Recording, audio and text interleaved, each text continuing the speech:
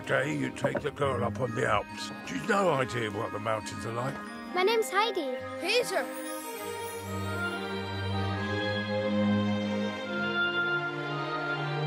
Night, grandfather.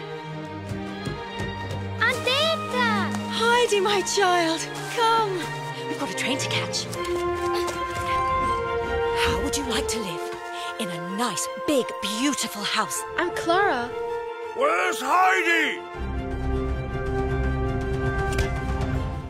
House, we have rules. There will not be any running, hopping, or jumping.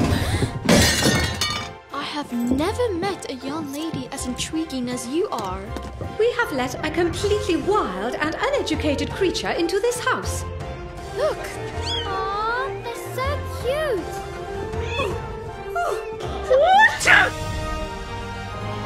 The place where you come from, it has to be quite different. It was a good decision to find a friend for Chloe. It has changed her for the better.